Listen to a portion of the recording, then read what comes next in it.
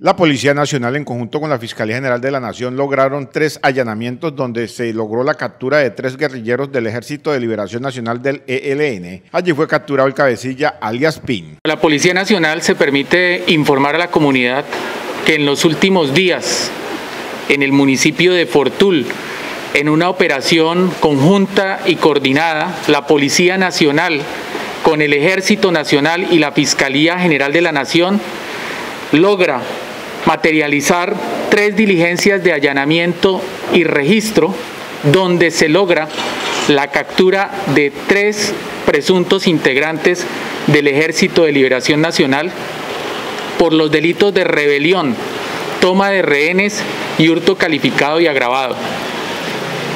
Es importante destacar que dentro de las tres capturas que se realizaron se encuentra un sujeto denominado como alias PIN, este sujeto era el cabecilla de la red de apoyo al terrorismo que delinquía en este municipio y tenía una trayectoria criminal de aproximadamente 15 años en la organización. El comandante del Departamento Policial Arauca, coronel Darío López, manifestó que en esta operación se logró la captura de dos mujeres también. Es importante también destacar que en esta operación se logra la captura de dos mujeres, una de ellas conocidas como alias Edith. Estas personas estaban dedicadas al direccionamiento de las finanzas criminales y a la extorsión en esta zona del país. Y también se les vincula al hurto de vehículos que transitan por los ejes viales del departamento con la retención de sus conductores con fines extorsivos. Este es un golpe contundente a esta organización y con esta actividad estamos generando mayor percepción de seguridad en los ejes viales del departamento.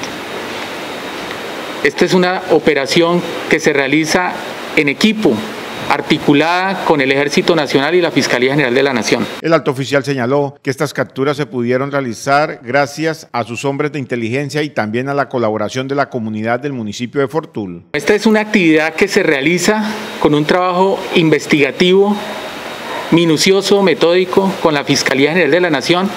Y hay que destacar también que se logra con la colaboración de algunas personas de la comunidad que también aportaron información relevante que al final dieron como resultado estas capturas que obviamente generan mayor percepción de seguridad en el municipio de Fortul y en los ejes viales del departamento. Alias Pin es uno de los cabecillas de las milicias urbanas en el municipio de Fortul y se dedicaba al cobro de extorsiones. Este sujeto alias Pin, como lo dije anteriormente, es cabecilla de la red de apoyo al terrorismo de el municipio de Fortul. Este sujeto venía trabajando con estas dos mujeres y eran las dedicadas al cobro de las extorsiones y a generar finanzas criminales para esta organización.